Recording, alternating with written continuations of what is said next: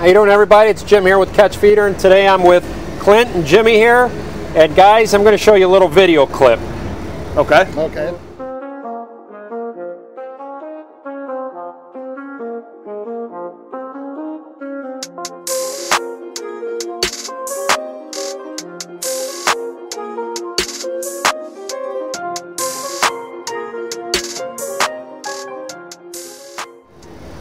What did you think of that?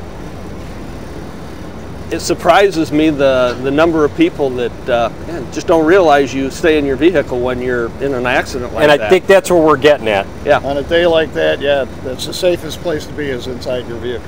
I know that a lot of times you're probably traumatized and you want to get out and you want to see what's going on or you want to help somebody out.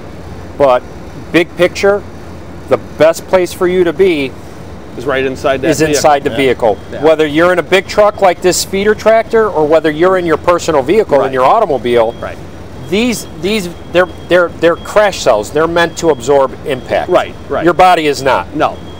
Um, in that video, you see this that gentleman not only get hit once, not twice, not three times, but four times he almost gets Gets hit. hit. Right. Right. Where the best thing he could have done for himself Stayed right in his vehicle. was just stayed in the vehicle. Yeah. So what do you do if you're in a big truck and you break down on the interstate?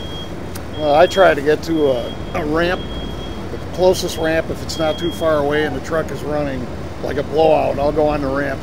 That's so much safer than being on the side of the road. So try to nurse it to the next Right. exit if you can. Right. Yeah. If you if can. you can't, if you can't, the best thing you could actually do is, is cock the tractor toward the ditch, Okay. right?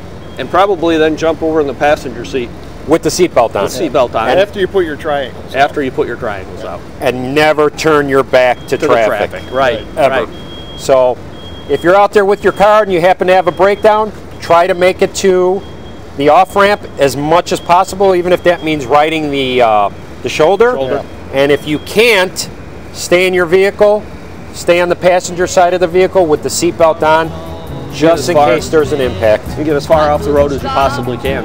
Okay? Be safe out there, everyone. The sound at night, the crying tires, the busting glass.